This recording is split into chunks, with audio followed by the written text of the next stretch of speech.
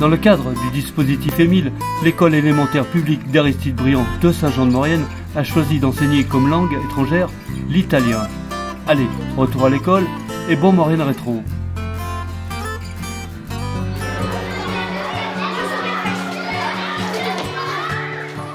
Dans le cadre du dispositif Émile, l'école élémentaire publique d'Aristide Briand de Saint-Jean-de-Maurienne a choisi d'enseigner comme langue étrangère l'italien. Une première pour l'établissement. L'enseignement d'une matière intégrée à une langue étrangère est un projet européen qui a commencé à se diffuser dans les années 90. On apprend la langue des voisins.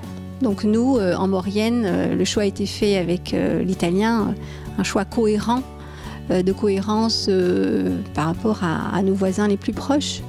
Euh, par un souci donc d'apprendre de, qui sont nos voisins. Donc c'est dans, l'esprit de la paix en Europe, c'est dans l'esprit aussi de, des enfants qui plus tard ont un cadre européen dans lequel ils pourront travailler.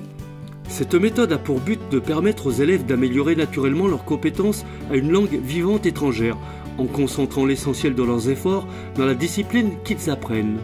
Donc euh, l'objectif numéro un, c'est que nos enfants, nos élèves apprennent à communiquer, euh, savent se parler, euh, savent se présenter, n'aient pas peur et prennent confiance dans la langue orale.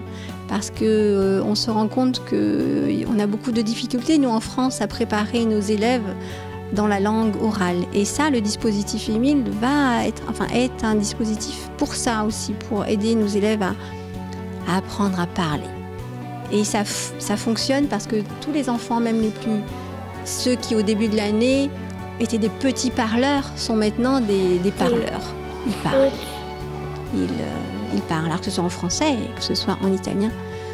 Tu as pu voir euh, certains enfants ont, des phrases déjà en italien alors que ça fait que depuis septembre qu'ils sont dans le dispositif.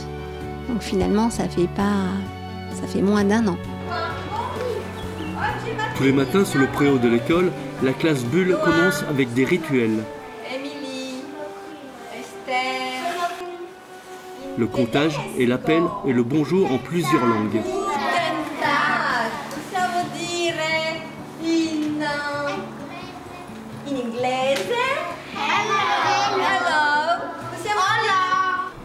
Puis, direction le gymnase, pour la salle des sports, et on en profite pour observer le paysage et s'entraîner au permis piéton.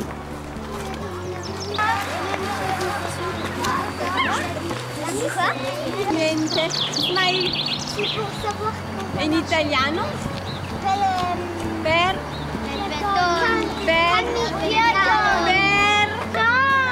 No! Chi va sulla strada? Macchine.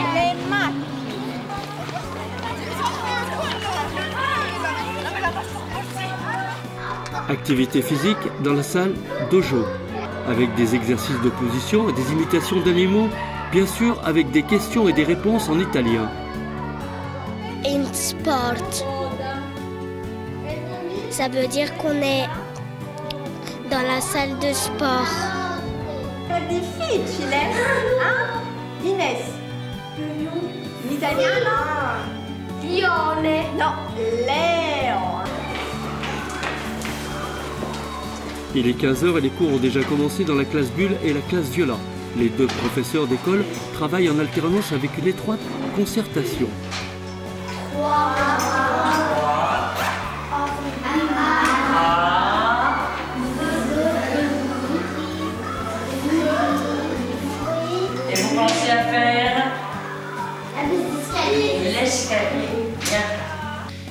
Donc après, bah, euh, si je fais le matin avec la classe Blue, collègue les a l'après-midi en classe Blue.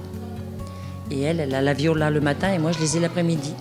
Concetto rosso è francese o italiano? Francese. Francese. E Robin Hood?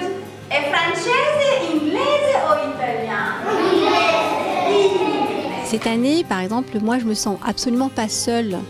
Souvent, j'avais l'impression d'être un peu seule dans ma classe, euh, même si on est dans une grande école. Et là, euh, avec Brigitte, on a un vrai travail de concertation qui est obligatoire si on veut que nos élèves réussissent. Et donc tous nos enfants qui sont en difficulté, on a toujours croisé nos regards. Et en fait, ça aide nos élèves qui sont en difficulté. Euh, notre regard croisé les aide beaucoup. Et nous deux, ça nous réconforte puisque les parents euh, entendent la même chose et donc ils sont confiants.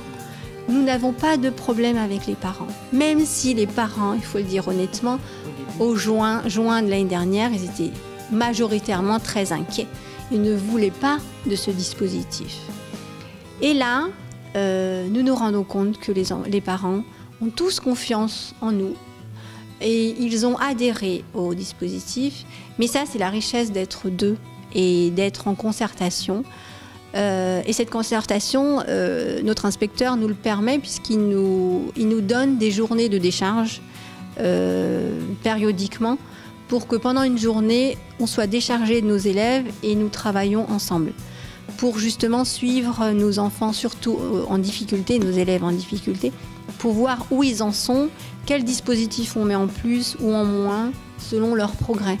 Et, euh, donc en, ça, moi, je me sens beaucoup à l'aise, beaucoup plus à l'aise avec ces enfants en difficulté, puisque du coup, euh, on avance, on avance, mais c'est parce que Brigitte et moi, on a des regards croisés sur un même enfant, chose qui est extraordinaire. Chaque année, des assistants en langue sont recrutés par l'éducation nationale. À l'école d'Aristide Briand a accueilli Erika. Elle vient de la région des Pouilles, au sud de l'Italie. Et Aïssa, il 24. finito. elle vient deux jours par semaine euh, assister euh, donc dans la classe pour que euh, je puisse bénéficier d'une aide. Et donc en fait cette aide c'est surtout alors il y a une partie aide matérielle puisque j'ai beaucoup de, choses à créer, puisqu'en fait c'est une création, donc il faut tout, euh, faut tout inventer, il faut tout, fabriquer, le matériel, ça n'existe pas, on n'a pas de manuel, donc j'ai beaucoup de matériel à fabriquer, donc en fait elle, elle m'aide beaucoup dans le matériel, et elle prend des, petits groupes d'enfants euh, par deux ou par trois, euh, avec un travail bien précis que je lui donne. Par groupe de trois, Erika présente la météo de son pays et de sa région.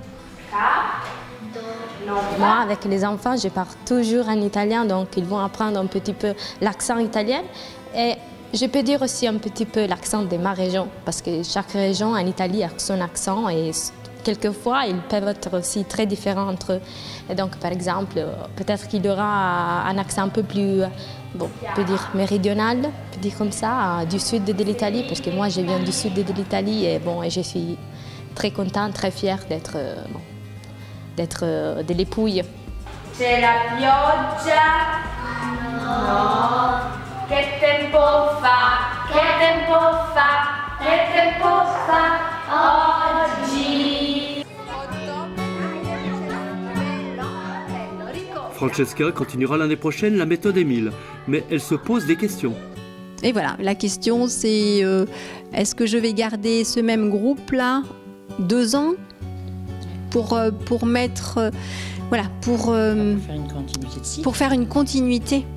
Voilà, parce qu'en fait, il y a tellement d'énergie qui a été déployée en septembre, octobre pour démarrer, pour leur donner des, des, habitudes, pour leur donner des rituels, pour leur donner du matériel, poursuivre au moins deux ans pour voir l'effet réel au bout de deux ans. Parce que là, on voit déjà beaucoup de choses positives, mais voilà, c'est une question que moi je me pose, je n'ai pas encore la réponse, euh, mais en tout cas je continue dans le dispositif.